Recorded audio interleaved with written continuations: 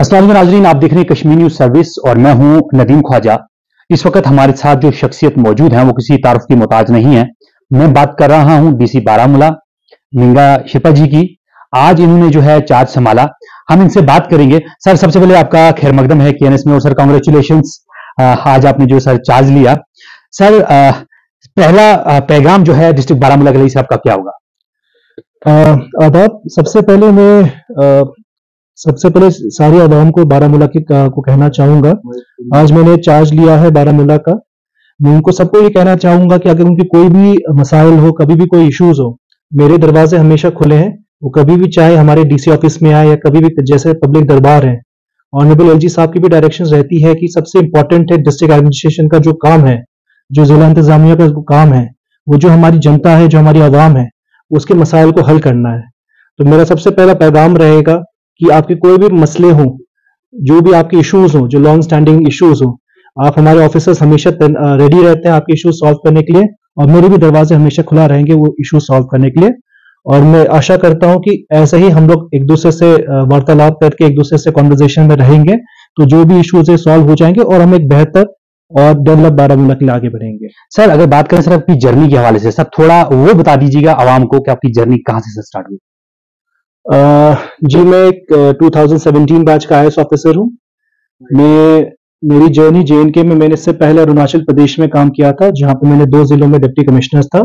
उसके बाद मैं लास्ट डेढ़ साल, दो साल से जे में हूँ। यहाँ जे में मुझे इससे पहले director as director information nominated रहा था। Along with I was also additional secretary in the honourable LG secretariat उससे पहले मैं एडिशनल डीसी जम्मू भी रहा हूँ।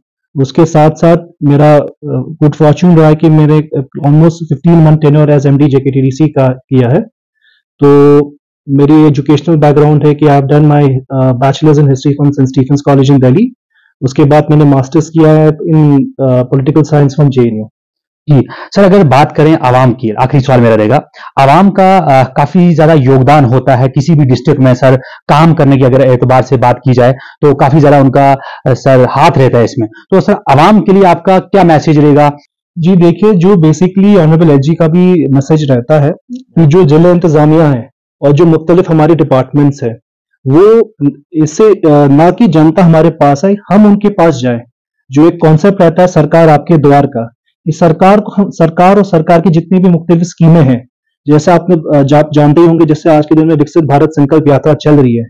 ये पूरा सरकार का आज के दिन का अप्रोच है कि जो सर्विसेज़ हैं जो भी सरकार जो भी हमारी आवाम की नीड्स हैं उसको ना कि आवाम को हमारे पास चल के आए हम उनके पास जाएँ और उनकी जो समस्याएँ उनके घर पे सॉल्व करें। तो मेरा आवाम से यही पैगाम रहेगा कि आपके कोई भी इश्यूज़ हैं आप मेरे आ, कभी भी हमारे ऑब्वियसली जो ऑफिसर्स हैं हमारे बालाबो में बड़े एक्टिव हैं बड़े प्रोएक्टिव हैं सॉल्विंग प्रॉब्लम्स तो मेरा यही पैगाम रहेगा कि आपके कोई भी मसाइल हैं कोई भी इश्यूज़ है हमारे साथ लाएँ। हम भी जब जब भी पब्लिक दरबार होगा आपको पता ही होगा आज हाल ही दिन में सारे बीच सेक्रेटरी जो वेरियस डिपार्टमेंट्स के हैं वो भी डिस्ट्रिक्ट में टूर कर रहे हैं। हमारा डिस्ट्रिक्ट एस्पिरेशनल डिस्ट्रिक्ट है उसके कारण भी हम कई सारे पब्लिक आउटरीच कैंपेन्स करते हैं। तो मेरा यही रिक्वेस्ट रहेगा आवाम से कि हमारे डिस्ट्रिक्ट ऑफ़िस की भी दरवाजे हमेशा खुले हैं और हमारे पब्लिक आउटरीच कैंपेन्स में ज्वाइन करें। अगर आपके कोई भी मसाइल हो, हम यही आशा करते हैं कि उसको जल्द से जल्द हम लोग इन प्रॉपर मैनर सॉल्व कर पाए। थैंक यू सर फ्यूचर में भी सर हम मुझसे बात करेंगे डेवलपमेंट के हवाले से भी।